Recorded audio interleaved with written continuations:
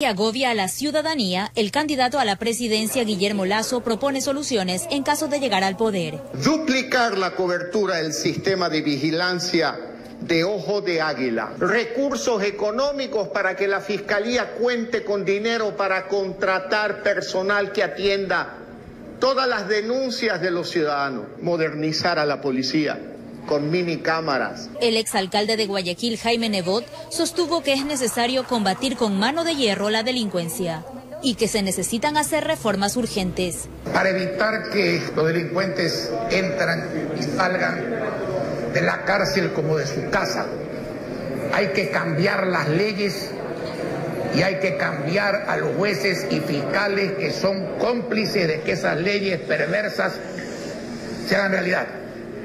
No hay otra forma de hacerlo. Se mostraron a favor del porte de arma para combatir la delincuencia cumpliendo con los requisitos de ley. Eso hay que autorizarlo.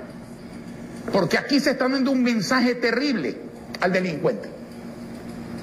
Ellos están armados y saben que los ciudadanos no están armados. Saben que no va a haber respuesta. El ciudadano tiene derecho dentro de la ley a defender su vida y que no se diga que eso es irrespetar los derechos humanos. Que debemos permitir que el agricultor, el ganadero, tenga un arma en su casa, que tenga la libertad de proteger a su esposa, a sus hijas, a su familia.